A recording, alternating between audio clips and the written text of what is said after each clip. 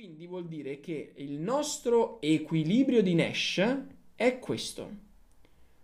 Quello è il nostro equilibrio di Nash. L'equilibrio di Nash è la miglior risposta alla strategia altrui. Quindi, se volessimo dare una definizione all'equilibrio di Nash, l'equilibrio di Nash è l'equilibrio che si ottiene quando ogni giocatore sceglie la miglior strategia in risposta alla strategia altrui. Come scorciatoia anche per gli esercizi, quella praticamente dove entrambi i numeri sono sottolineati. È una scorciatoia, ok? Non ditela in questo modo, però almeno è un modo per capire come fare l'esercizio. Qui c'era una particolarità. Qual era la particolarità? La particolarità è che se ci fai caso, il giocatore 2 aveva sempre scelto A. Cioè, se il giocatore 1 avesse scelto A, eri qua, e il giocatore 2 conveniva scegliere A.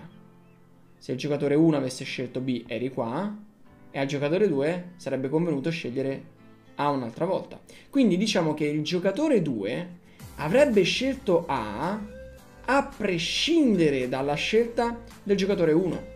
Quindi cosa vuol dire? Vuol dire che il giocatore 2 aveva una cosiddetta strategia dominante. Andiamo a vedere cosa vuol dire. Una strategia dominante è una strategia scelta dal giocatore a prescindere dalla strategia scelta dall'altro giocatore. Il giocatore 2 avrebbe scelto A a prescindere dalla scelta del giocatore 1.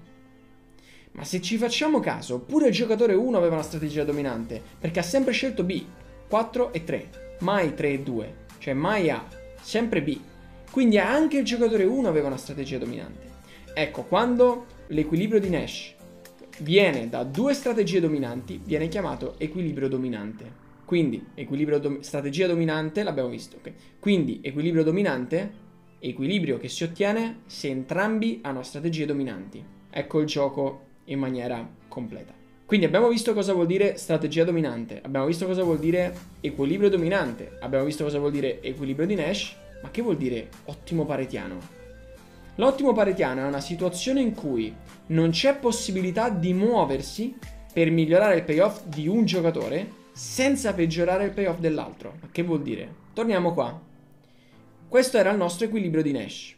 C'è modo di muoversi da qua? Muoversi da qua vuol dire muoversi invece che stare qua, andare o qui o qui o qui, cioè in uno degli altri tre quadranti. C'è modo di muoversi migliorando il payoff di uno ma senza peggiorare il payoff dell'altro?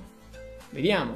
Allora, se ci spostiamo in questo alto, beh, il giocatore 2 migliorerebbe perché passa da 3 a 4, ma il giocatore 1 passerebbe da 4 a 3.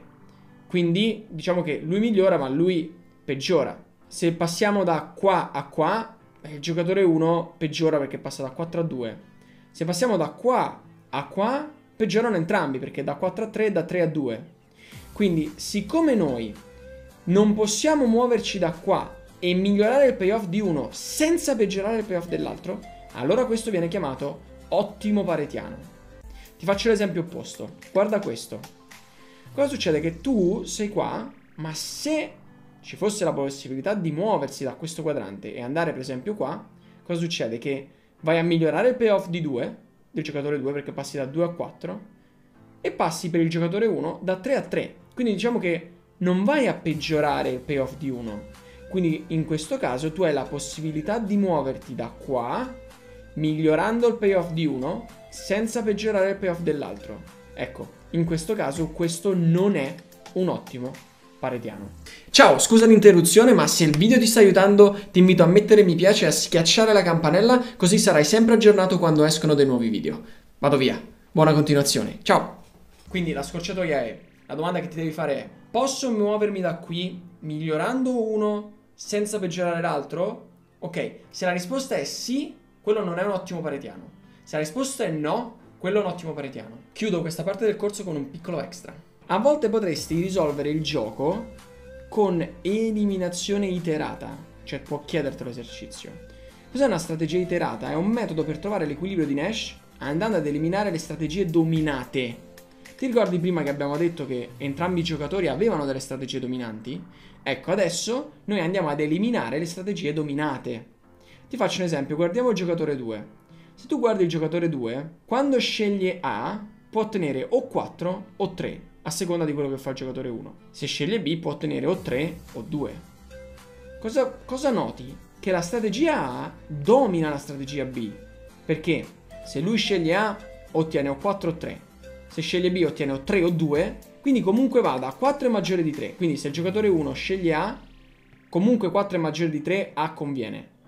Se il giocatore 1 sceglie B, comunque 3 è maggiore di 2, e quindi la, la, a quel punto la strategia A conviene anche se il giocatore 1 scegliesse B. Quindi, come abbiamo visto prima, la strategia A conviene sempre.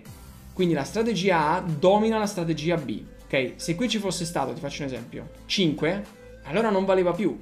Perché? Perché la strategia A conveniva quando 4 era maggiore di 3, cioè quando il giocatore 1 sceglieva A.